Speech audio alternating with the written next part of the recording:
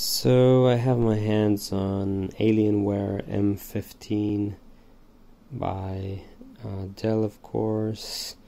Uh, I took it apart to put a new hard drive inside and change the RAM. Um, this is the type of RAM that we have if you're interested.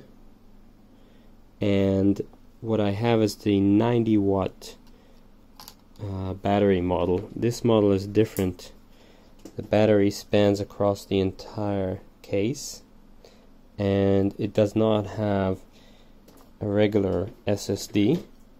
This is where the regular SSD usually sits. It has an M2 SSD. So be advised if you want to expand or change the hardware on this machine.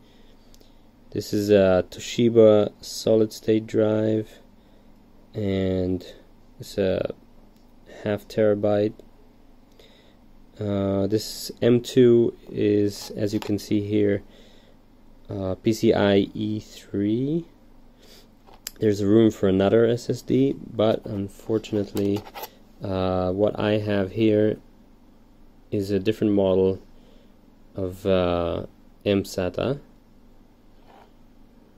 So make sure you get the right the right mSATA drive if you want to upgrade your Alienware, as well as uh, the RAM. Make sure it's exactly the right type. So putting it back together, to put this right over here. put one screw in here, and then I have battery. It's going to sit right there, nice and snug.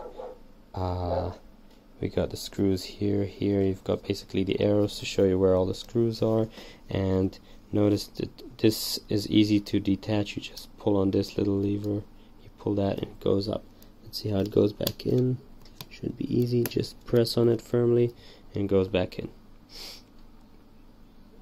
The case is has screws all around it uh, from the sides and on the back uh, make sure you get all the screws out before you take the case off.